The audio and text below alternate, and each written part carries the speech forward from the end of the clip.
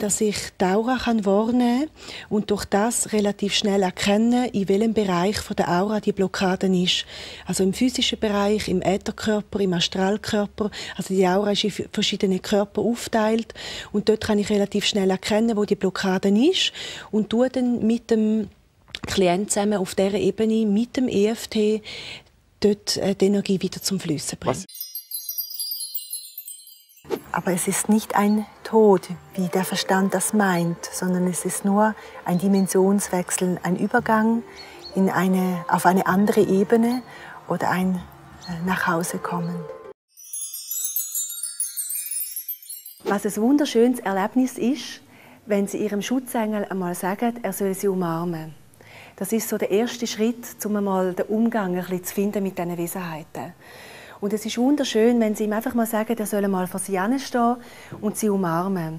Und sie spüren, wenn eine Energie da ist, also auch die von ihnen, die nicht so geübt sind, spüren das, wenn eine Energie kommt und sie einfach von vorne wieder heben. Also sie können wenig richtig führen Es ist wie eine Energieform, wie eine Masse, die da ist. Und das ist ein wunderschönes Gefühl. Also ich würde es Ihnen sehr ans Herz legen, das mal auszuprobieren. Für mich gibt es nichts Negatives. Beziehung von mir zu der Materie macht es schlussendlich so oder so.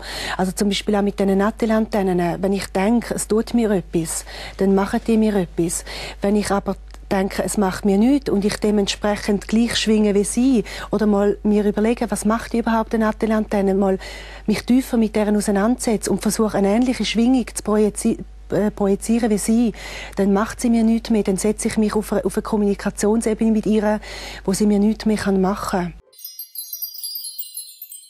Sie ist so etwas wie eine Lebensberaterin, die mehr weiß als wir alle. Darum herzlich willkommen, Nadine Reuter.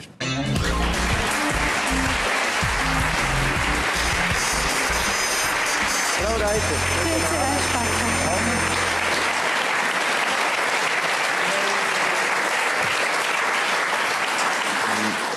Was für Menschen suchen euer Rat?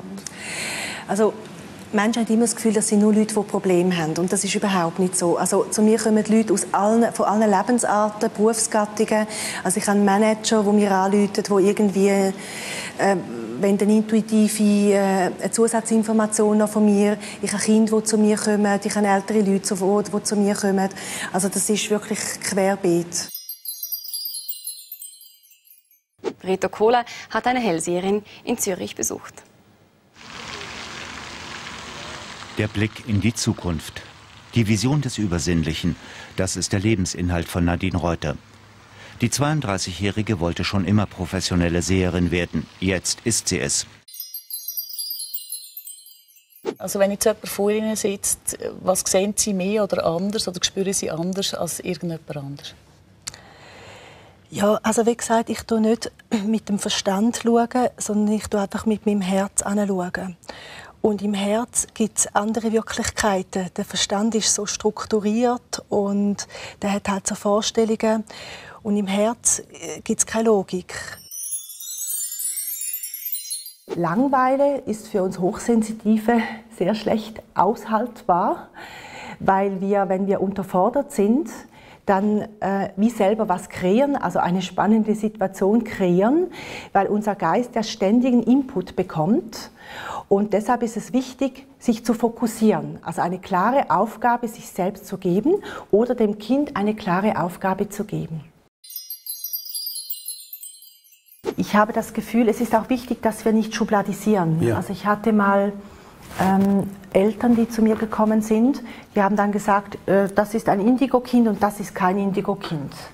Und das ähm, hat sich für mich nicht richtig angefühlt, also so quasi, du bist speziell und du bist nicht speziell.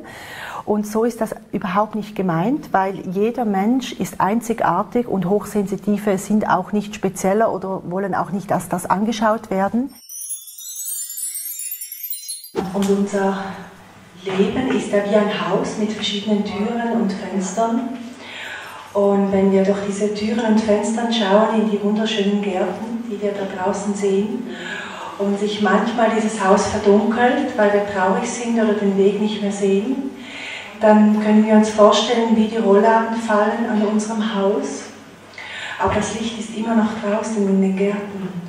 Und wenn wir selber zu wenig stark sind, um diese Rollläden wieder zu öffnen, dann bitten wir einfach die Engel darum, dass sie uns die Rollläden wieder öffnen, dass das Licht von außen wieder hereinstrahlen kann.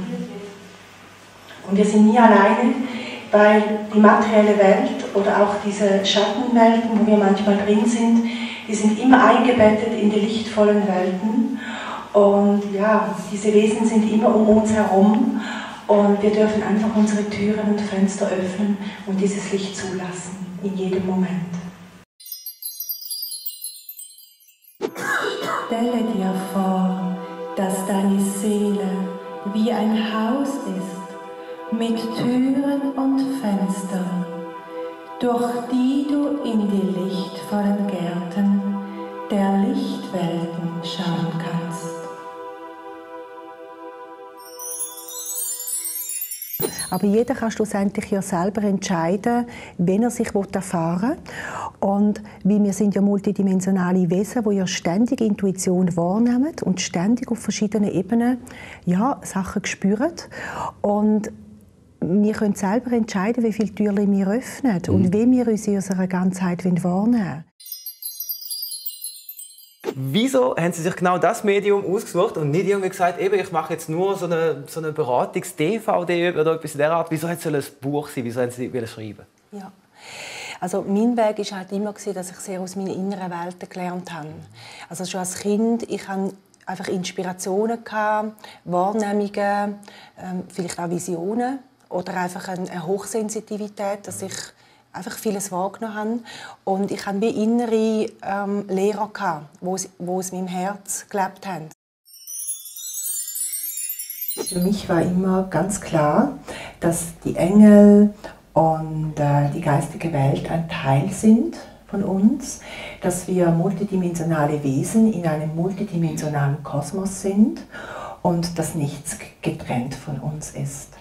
Also dass die die Erde lebt, dass die Natur lebt, dass wir irgendwo auf einem Planet sind, im Nirgendwo und verbunden sind mit allen Sternen und Ebenen und Dimensionen.